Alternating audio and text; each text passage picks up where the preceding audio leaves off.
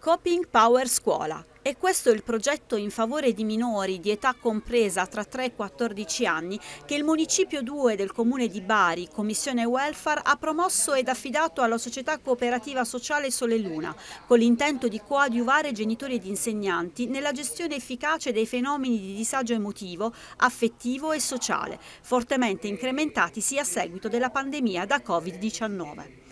È un progetto di carattere tecnico, particolarmente tecnico perché vede il coinvolgimento di psicologhe che eh, diciamo, entrano all'interno della scuola per volontà del Municipio 2 che ha finanziato questa progettualità e formano docenti, eh, genitori e alunni. In qualche maniera si cerca di creare una sinergia tra questi soggetti affinché si possa intervenire all'interno del contesto classe, ridurre la dispersione scolastica e favorire l'inclusione. In qualche maniera il coping consente eh, attraverso tutto questo percorso formativo di riuscire ad avvicinare anche quei ragazzi che rimangono un pochettino più indietro, anche e soprattutto dopo il periodo pandemico, si sono attardati anche all'interno di quella che è la capacità di socializzare, insomma di dare un contributo loro attraverso un approccio sistemico. Progetto, avviatosi lo scorso gennaio, ha visto la fervida partecipazione degli alunni di tre classi dell'Istituto Comprensivo di Amicis La Terza, che durante l'orario curriculare sono stati coinvolti in otto incontri mirati a rafforzare la loro competenza sociale, prosociale, emotiva e relazionale.